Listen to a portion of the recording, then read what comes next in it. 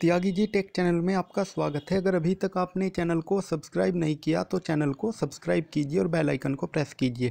Friends, इस video में मैं आपको बताऊँगा व्हाट्सएप की एक ऐसी सेटिंग के बारे में जिसको ऑन करने के बाद आपकी व्हाट्सएप पर लगी प्रोफ़ाइल पिक्चर डीपी को सिर्फ़ वही लोग देख पाएँगे जिनका कॉन्टैक्ट नंबर आपके फ़ोन में सेव है।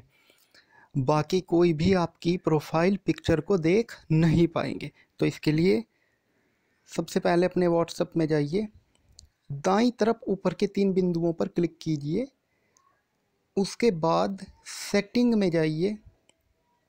सेटिंग में जाने के बाद अकाउंट पर जाइए। अकाउंट पर जाने के बाद सबसे ऊपर ऑप्शन आएगा प्राइवेसी उस पर जाइए और उस पर जाने के बाद दूसरे नंबर पर ऑप्शन आएगा प्रोफ़ाइल फ़ोटो।